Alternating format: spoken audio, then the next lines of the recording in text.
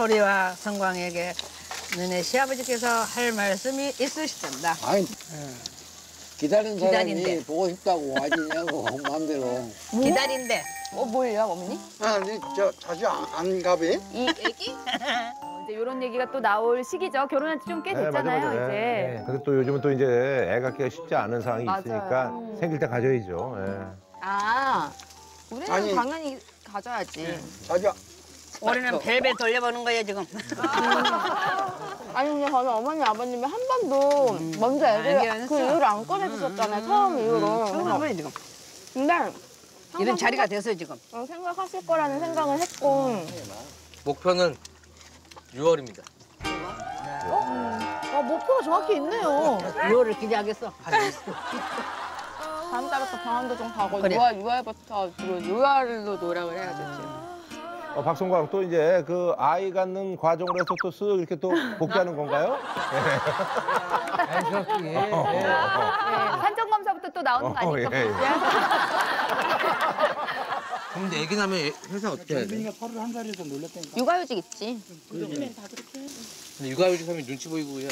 아니, 아유, 그거는 그런 안거 하면 안 돼요. 1년인가 인수 주더라고. 남편도 육아휴직 같이 줘. 우리 지금 뭐 그렇게 안 하면 아니 박서방은 안 들려. 저요? 본인이 알아서 노는 거야. 알아서 그냥 일 안 하면 돼. 근데 그러냐는 너는 어디 방송 나오냐? 어디 방송 나오냐? 요즘에 나오던 SBS 나오고. 그치? 정상이명도 정상이명도 언제 언제 나오냐? 나 잘린 줄 알았어 정상이명. 어머님 덕에 또 나오네요 저희가.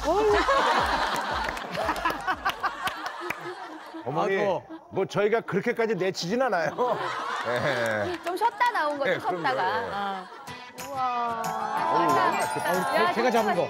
아, 바로 새로 떠오르구나. 이거 괜찮겠다. 어우, 괜찮아. 양식이라도 괜찮겠네. 네, 맞아. 바로 제가 잡은 거 먹으니까.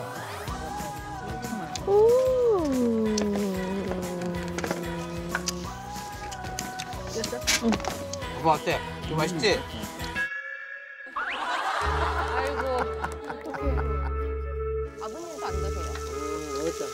우리 아버지? 여기 있는데. 아버지 어. 기분 안 좋아 지금. 지금 머릿속에 우럭이 우럭 그리고 나도 그 생각했어. 우럭 내 새끼. 아유 어떡해 아쉬우셔가지고. 하필이면 우럭이 우럭이 어떻게 더 없어진 거야 도대체가? 아, 우럭 분명히, 분명히 잡은 거 맞죠? 가봤죠 저희가 다 봤어요. 안 잡았어. 우리